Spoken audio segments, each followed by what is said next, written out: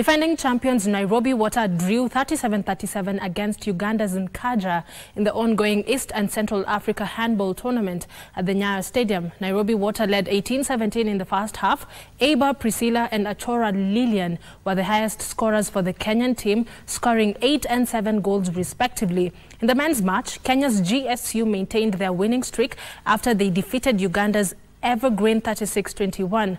Christopher Mayende was the highest score for GSU after netting 8 points. KDF men suffer a 32-37 loss to Gicumbi of Rwanda. The East African events ends on the 9th of this month.